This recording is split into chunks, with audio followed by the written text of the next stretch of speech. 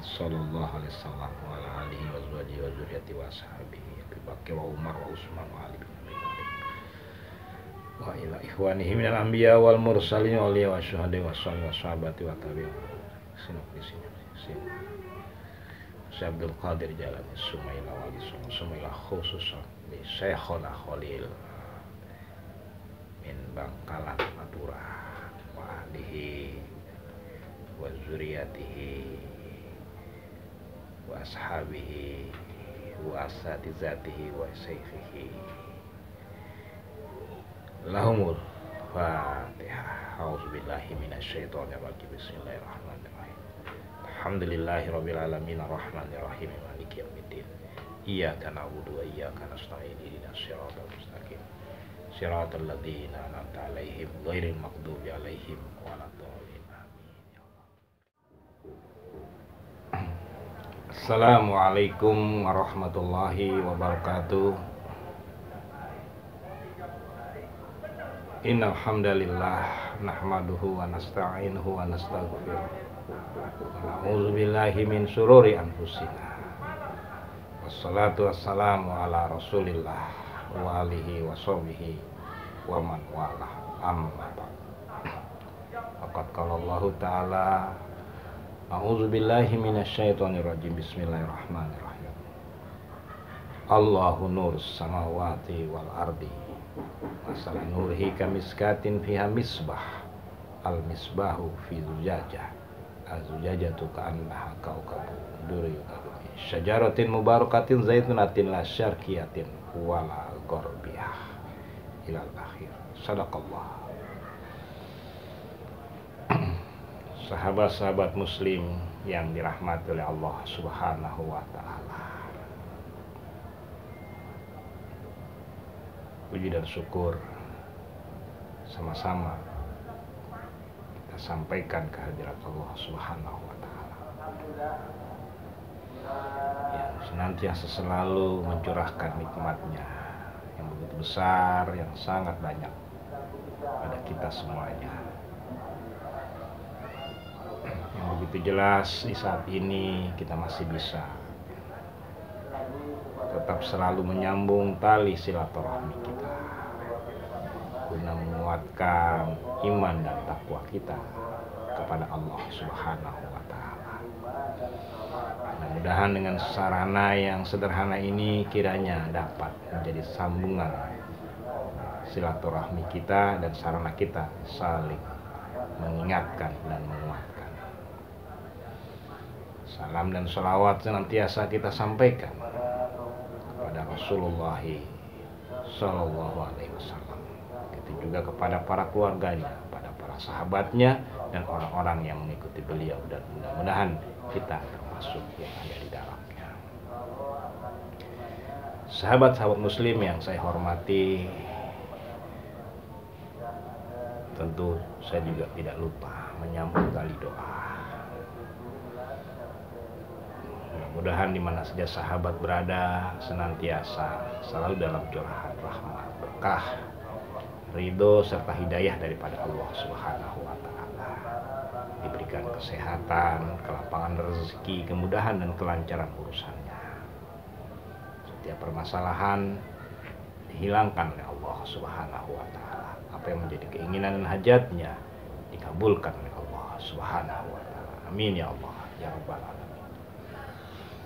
Sahabat-sahabat muslim di mana saja berada dalam kesempatan ini saya ingin menyambung tali silaturahmi tali hubungan kasih sayang ukhuwah Islamiyah. Karena sebab kita sesama muslim adalah bersaudara. Innamal mu'minuna ikhwah. Yaitu kepada saudara-saudara yang ada di kepulauan Madura. Yang lebih khusus lagi adalah takzim dan sowan kepada guru besar para ulama. Cahayanya Pulau Madura. Salah seorang dari wali-wali Allah Azza wa Jalla. Yang kita muliakan yang kita hormati dan cintai masur akrab dipanggil. Al karomah asy-syekhona Khalil. Rahimahullah.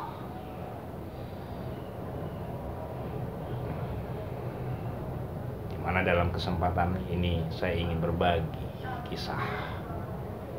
Berbagi sarana berwasilah bertawassul kepada beliau. Itu dengan mengharapkan fadilah dan karomahnya yang begitu besar yang dimiliki oleh beliau. Yang diungkapkan dari berbagai macam kisahnya. Yang tentu kisah itu masih dekat dengan kita. Karena beliau adalah seorang ulama akhirin gurunya para ulama-ulama di Indonesia ini. Mudah-mudahan dengan kisah ini kiranya bisa menjadi ibroh uswah dan teladan pelajaran yang baik kepada kita semuanya menjadi rahmat dan berkah serta fadilahnya dari karomah beliau. Amin ya Allah ya Rabbal alamin. Sahabat-sahabat muslim yang dirahmati oleh Allah subhanahu wa ta'ala. Syekhona Khalil adalah begitu besar nama beliau dan begitu sangat dicintai dikagumi oleh seluruh umat Islam khususnya di Pulau Madura dan umumnya di Pulau Jawa dan ah, di Nusantara bahkan sampai ke luar negeri. Karena beliau adalah seorang yang sangat alim yang sangat alamah seorang ulama besar yang mencetak lahirnya ulama-ulama besar di Indonesia. Jadi beliau adalah seorang tokoh ulama besar di negeri kita kalau mereka kalau beliau berasal dari pulau yang kecil itu pulau Madura akan tetapi di sana menghasilkan sebuah cahaya yang besar yang akan menerangi daripada kaum muslimin di Nusantara ini khususnya di Pulau Jawa dan Pulau Madura.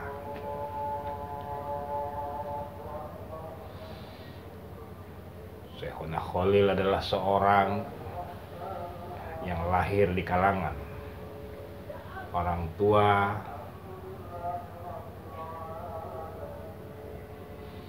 dari para alim ulama yang beliau dilahirkan di tahun 1820 tepatnya tanggal 27 Januari. Jadi keberadaan beliau masih dekat dengan kita sehingga sejarah-sejarah beliau, kisah-kisah beliau tentu masih kuat melekat. Kisah-kisah yang baik yang bisa kita jadikan ibroh dan pelajaran buat kita semuanya.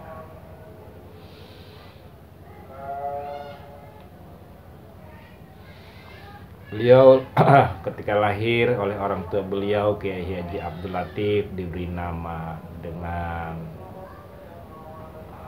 Muhammad Khalil yang dari kecil beliau sudah dididik dari oleh orang tua beliau dengan pelajaran-pelajaran agama yang begitu sangat kuat. Sehingga kecintaan beliau kepada Islam pada pelajaran agama Islam begitu sangat kuat. Dan beliau seorang anak yang tekun dalam belajar.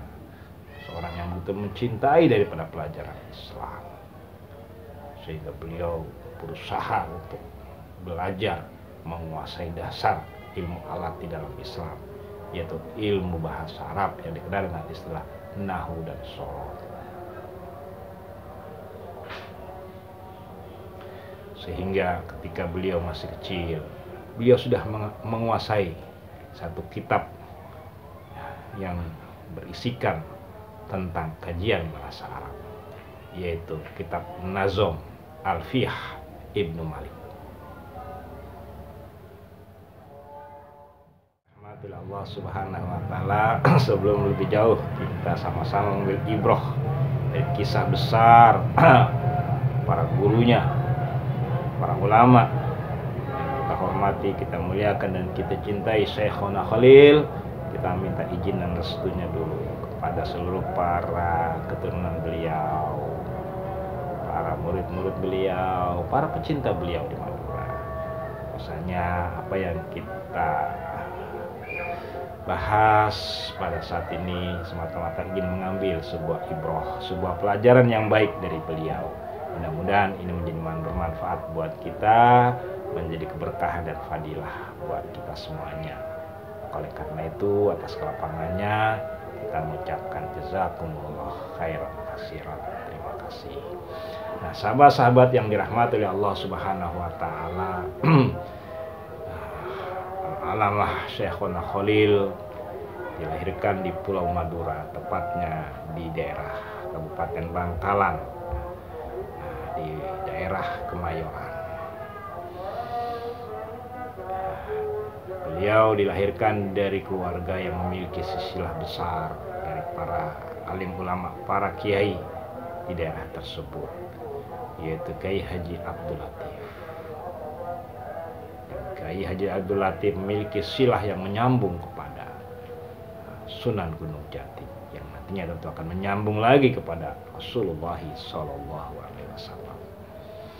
Ketika beliau lahir, nah, tepatnya tanggal 27 Januari tahun 1820 Masehi.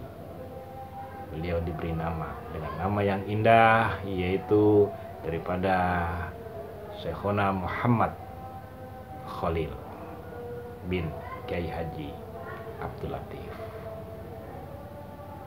Dari kecil beliau diajarkan pelajaran agama yang begitu ketat. Dan beliau dari kecil pun sudah memiliki kecintaan yang begitu besar kepada pelajaran-pelajaran agama.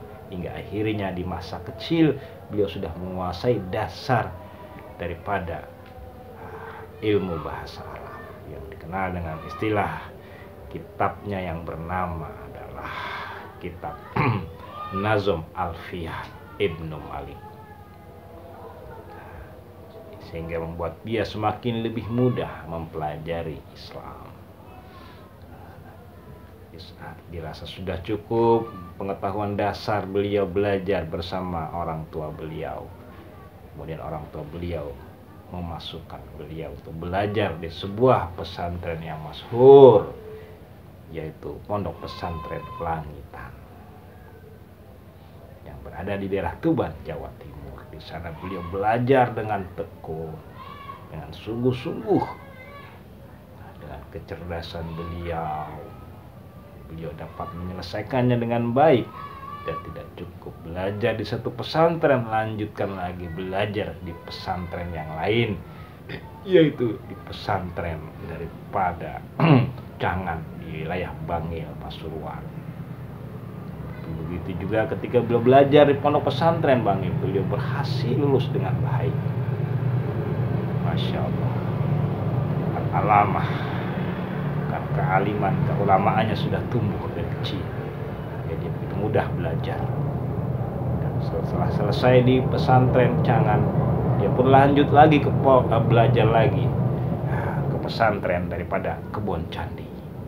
Saat beliau belajar di pesantren kebun candi dia masih belajar lagi secara pribadi kepada seorang kiai yang besar yaitu Kiai Haji ah, daripada Nur Hasan yang berada di Sidogiri. Yang jarak dari tempat pesantren beliau belajar ke Sidogiri itu memakan waktu memakan jarak 7 km bayangkan. Beliau setiap hari berangkat belajar. Dalam perjalanan beliau selalu membaca ayat-ayat Allah bil khusus surah Yasin. Begitu tekunnya beliau belajar, begitu sungguh-sungguhnya beliau belajar. Minimal tiga pesantren besar berhasil beliau uh, jalani hingga lulus menjadi seorang santri terbaik. Namun itu pun juga masih belum cukup disadari oleh beliau sehingga beliau begitu besar tekad untuk melanjutkannya, menyempurnakannya untuk belajar tempat di mana sumbernya Islam itu lahir yaitu di kota Mekah dan di kota Madinah. Yang itu sudah beliau persiapkan sebelum beliau berangkat. Jadi di saat beliau belajar beliau berusaha untuk mengumpulkan biaya dengan beliau bekerja mencari tambahan yang uangnya beliau simpan untuk menambah biaya perjalanan beliau belajar kota Mekah dan kota Madinah. Begitu gigihnya, begitu uletnya, begitu prihatinnya, begitu mandirinya beliau untuk meraih cita-cita beliau menjadi seorang yang alim, al-alamah yang akhirnya menjadi seorang ulama besar yang melahirkan para ulama-ulama besar di negeri kita ini, di Indonesia. Dia yang masih relatif muda, beberapa pesantren telah dia selesaikan belajar di sana. Dia melanjutkan lagi belajar untuk ke tanah suci Mekah. Dan berangkatlah beliau setelah menikah belajar ke tanah suci Mekah untuk menyempurnakan ilmu agama beliau. Di sana beliau bertemu dengan para ulama-ulama besar sebelum beliau sampai di sana. Ketika dalam perjalanan beliau banyak berpuasa. Bukan untuk menghemat biaya, tapi karena ingin mendekatkan diri kepada Allah Subhanahu wa taala. Dan oleh Allah dikabulkan.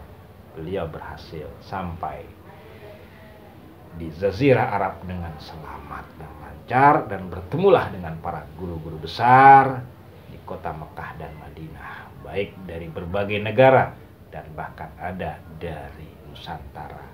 Yang beliau sempat belajar dengan seorang syekh yang masyhur yang berasal dari Banten yaitu Syekh An-Nawawi. Sahabat-sahabat muslim yang dirahmati Allah Subhanahu wa taala.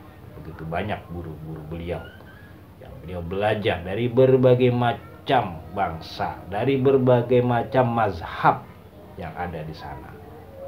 Tetapi beliau tetap kembali dasar mazhab yang diajarkan oleh guru-gurunya sebelumnya yang ada di Indonesia tetap berpegang kepada mazhab Syafi'i sehingga beliau banyak mempelajari mendalami nah, pelajaran-pelajaran agama, fikih, syariat yang ada di dalam mazhab Syafi'i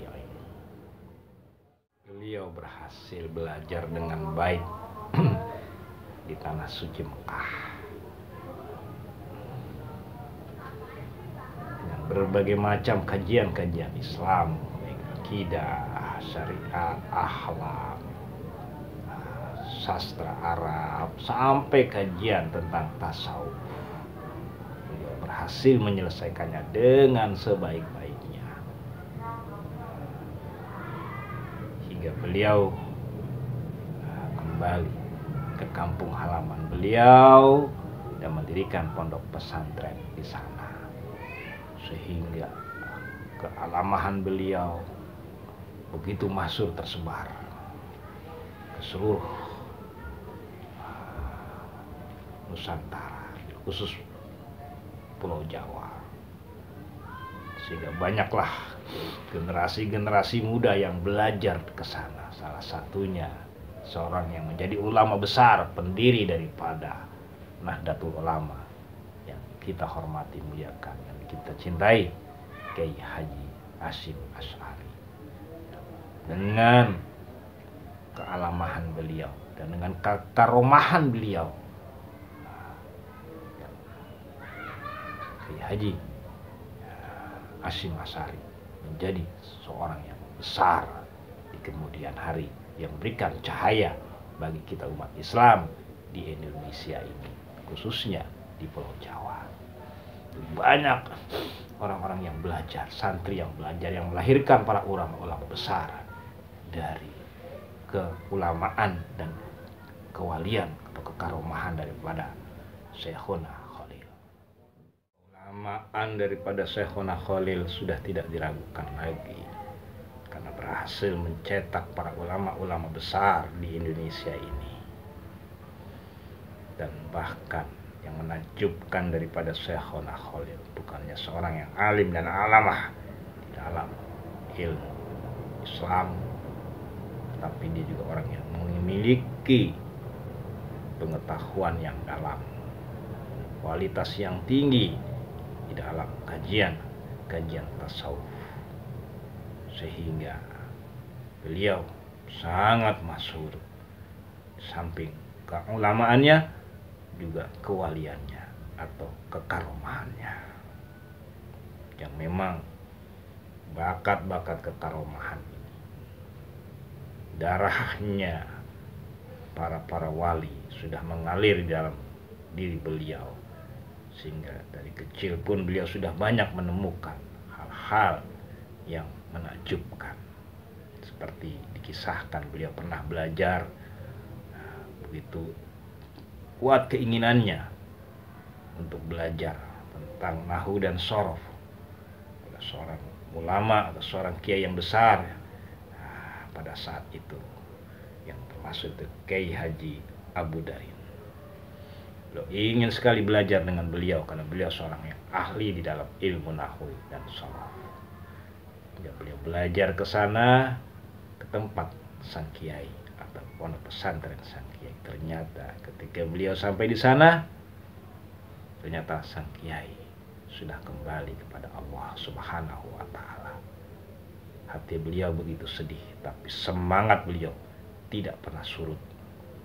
Tidak pernah putus asa setiap hari beliau berziarah dan mengaji di makam sang kiai. Dan ternyata kesungguh-sungguhan beliau, ketekunan beliau dan kegigihan beliau pantang menyerah dan putus asa. Di di sana beliau selalu berzikir dan mengaji, menyampaikan doa kepada sang kiai dan ternyata selama 41 hari Allah maha kuasa ya iza arda say'an ayakula kun mendengar dan mengabulkan keinginan Syekhuna Khalil dan almarhum yang mulia Kiai Haji Abu Darin hadir dalam mimpinya mengajarkan tentang pelajaran nahu dan sorof sehingga dia mampu menguasai nahu dan sorof belajar melalui mimpi oleh sang almarhum. Itulah salah satu sebuah kekaromahan beliau karena beliau memang nah, dari darahnya para wali-wali Allah Subhanahu wa taala. Dan hal seperti itu tidak ada mustahil bagi Allah Subhanahu wa taala. Dan beliau berhasil saat masih muda, masih kecil menguasai ilmu nahu dan sorof yang diajarkan oleh almarhum Kiai Haji Abu Darin. Sah di masa beliau masih kecil saja sudah banyak kejadian-kejadian yang bersifat fadilah dan karomah. Tentu begitu banyak pula setelah semakin beliau lebih alim lagi, semakin dewasa kisah itu banyak dikisahkan nah, di kalangan saudara-saudara kita yang ada di Madura memang kisah beliau masih hangat sehingga kisah-kisah seperti itu bisa dipertanggungjawabkan kesohehannya atau kesalahannya karena beliau masih dekat dengan kita hanya beda beberapa generasi jadi sahabat-sahabat yang dirahmati oleh Allah Subhanahu wa taala. Ada yang mengisahkan beliau ketika sedang mengajar tiba-tiba bajunya basah kuyup. Sehingga banyak para santri yang belajar terheran. Di mana Syekhuna? Padahal tidak hujan keadaan cuaca baik terang kok bajunya basah kuyup aneh tapi karena kesantunan dan hormatnya para murid tidak bertanya. Tentunya ternyata setelah beberapa saat kemudian datanglah seseorang menemui sang kiai atau syekhuna khalil untuk menyampaikan ucapan terima kasih yang telah ditolong di saat terjadinya badai di lautan di saat beliau sedang uh, sedang mencari ikan. Nah di sana baru para murid dan santri paham. Ternyata beliau pun bisa merubah bisa pecah raga. Allah alam tapi tidak ada yang mustahil bagi Allah subhanahu wa ta'ala untuk para walinya. Dan kita harus meyakininya sebab demikianlah Islam mengajarkan. Rasulullah mengajarkan. Bahwasanya Allah begitu murah kepada para kekasih-kekasihnya sehingga kekaromahan-kekaromahan, keajaiban-keajaiban seperti sering terjadi kepada Rasulullah Wasallam begitu juga dengan para sahabat begitu juga dengan para wali-wali begitu juga dengan al alamah wal karomah Syekhona Khalil sahabat-sahabat yang dirahmati Allah Subhanahu wa begitu banyak kisah-kisah kekaromahan beliau yang diperlihatkan oleh Allah Subhanahu wa taala para murid-murid kepada orang-orang yang ada di sana. Begitu juga kekarumahan yang pernah diterima oleh uh, Kiai Haji Asim Asari ketika berguru atau belajar dengan Syekhuna Khalil hingga menjadi seorang yang besar jadi sahabat-sahabat yang dirahmati Allah Subhanahu wa taala begitu banyak. Pernah juga ketika beliau hidup karena beliau hidup di zaman penjajahan Belanda. Pernah beliau uh, mengalami sebuah masalah dengan tentara petugas Belanda hingga beliau ditahan. Dan ternyata dengan izin Allah pintu sel tidak bisa dikunci ya tetap terbuka sehingga penjaga mengalami kesulitan untuk mengawasi beliau dan bahkan yang berkunjung begitu banyak yang ingin tinggal bersama beliau akhirnya sang petugas Belanda kewalahan dan membebaskan daripada al-alamah wal karomah Syekhona Khalil rahimahullah. Jadi sahabat-sahabat yang dirahmati Allah subhanahu wa ta'ala bukan saja seorang yang alim al-alamah tapi juga seorang yang al-karomah. Mudah-mudahan kisah-kisah beliau kegigihan beliau ketekunan beliau di dalam mengkaji uh, ilmu agama ilmu syariat uh, ilmu fikih ilmu alat yang menjadi landasan kita beribadah kepada Allah terlebih juga begitu tekun di dalam mengkaji ilmu-ilmu rahasia tentang diri dan sang pencipta. Mudah-mudahan pelajaran yang begitu besar kalau keulamaannya baik dalam dunia syariat dan di dunia tarekat atau tasawuf menjadi sebuah ibu yang paling berharga buat kita tentu khususnya buat saudara-saudara yang ada di Madura. Mudah-mudahan dengan kisah ini menjadi sarana kita tersambung dengan fadilah dan kekaromahan beliau sehingga kita mendapatkan rahmat dan berkahnya. Amin ya Allah ya Rabbal alamin. Demikian sahabat-sahabat yang dirahmati oleh Allah Subhanahu wa taala. Kita sangat bersyukur kepada Allah Subhanahu wa taala. Sangat beruntung diberikan seorang ulama juga diberikan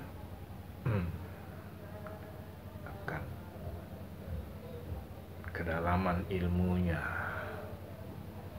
dalam pengetahuan yang bersifat hmm, tidak hanya syariat tetapi juga sampai ke tingkat hakikat atau tasawuf yang sangat sedikit sekali ya orang yang sempurna memiliki ilmu syariat dan ilmu tarekat atau ilmu bersifat zohir dan batin kita bersyukur ya. diberikan berliannya yang berasal dari Pulau Madura dan tentu yang paling sangat beruntung adalah sahabat-sahabat saudara-saudara yang ada di Madura. Karena memiliki hasanah yang besar dari Allah Subhanahu wa taala. Seorang ulamanya Allah. Seorang walinya Allah subhanahu wa ta'ala. Masya Allah Allah karim. Ya jadi begitu banyaklah kisah-kisah ya, yang tentang kekaramahan beliau. Pernah mengobati orang ya kan? Belum diobati orangnya baru keluar bawa senjata udah sembuh orang itu ketakutan lari. Tanpa dia sadari kalau seandainya dia dalam keadaan sakit. Ada kisah seperti itu banyak. Itu kisah ini masih melekat masih kuat lah garis uh, nasab hmm, ceritanya. Jadi masih bisa dipertanggungjawabkan akan kebenaran kebenaran kisah tersebut. Dan beliau masih dekat nah, masa kehidupannya dengan kita. Jadi mungkin tiga empat generasi lah ya. Mungkin kita kalau dibandingkan beliau ya karoma wala alamah ya syekhona ya mungkin kita masuk tabiinnya kali ya atau tabiin wa tabiin gitu. Khususnya orang yang dari sana ya masih dekat. Itu keturunan keturunan beliau masih kuat. Nah ininya. Meneruskan nah, karena ha, diteruskan oleh para keluarganya anak-anaknya semuanya diteruskan sampai sekarang ini. Dan masyhur di daerah Bangkalan Madura seperti itu. Dan ya alhamdulillah saya juga pernah silaturahmi ke daerah sana. Jadi itulah sedikit ya kisah yang benar-benar jadi pelajaran besar buat kita. Kegigihan beliau ketekunan beliau tekad beliau yang kuat masya Allah itu banyak ketelatenan beliau untuk menyiapkan segala keperluannya untuk belajar ya. banyak pelajaran besar yang bisa kita ambil nih dari guru besarnya. Ya, maha gurunya para ulama di Indonesia yang mencetak ya kayak besar kayak Haji Hasim Asari dan yang lain-lain Masya Allah. Jasanya beliau begitu besar yang beri cahaya buat umat Islam di Nusantara ini ya khususnya ya di Pulau Jawa di Madura ya Masya Allah berhasil dari murid beliau membangun sebuah wadah yang penting buat umat Islam di Indonesia ini menghadapi ya, eh, gangguan daripada Islam dan juga penjajah Belanda. Jadi Nahdlatul Ulama itu dibangun untuk menghadapi berbagai macam persoalan-persoalan yang bisa merusak nilai-nilai akidah, nilai syariat, ya, nilai-nilai ketauhidan, keyakinan beragama. Karena begitu berkembangnya ya bermacam-macam aliran.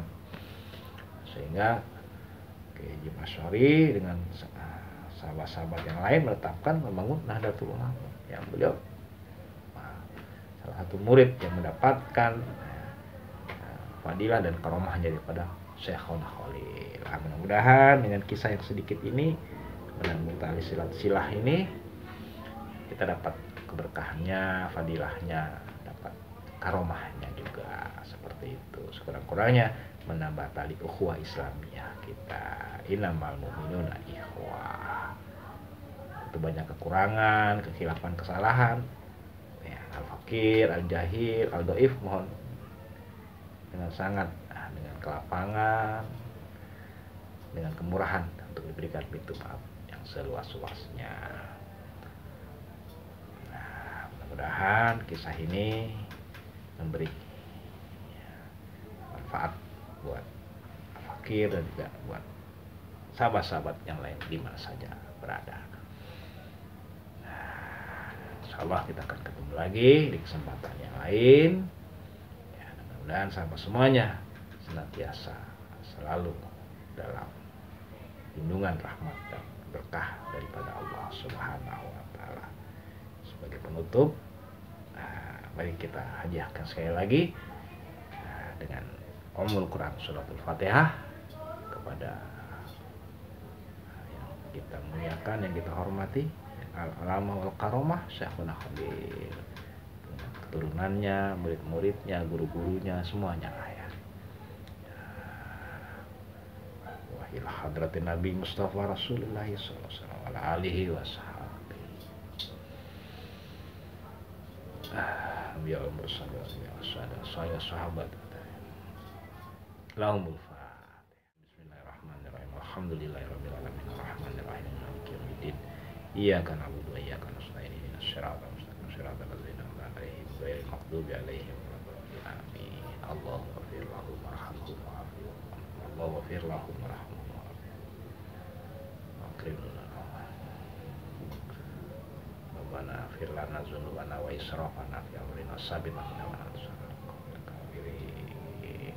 Rabbana hab lana min azwajina min dzurriyyatina qurrata a'yun waj'alna Rabbana atina fid dunya hasanah wa fil akhirati hasanah wa qina azabannar wa qina azabannar. Walhamdulillahirabbil alamin. Terima kasih atas segala perhatiannya atas partisipasinya. Semoga Allah membalas dengan yang lebih baik lagi. Jazakumullah dan kasih sekali lagi. Mohon dibukakan pintu yang seluas-luasnya. Sampai ketemu di kesempatan kasih. Wabillahi taufik wa hidayah wassalamualaikum warahmatullahi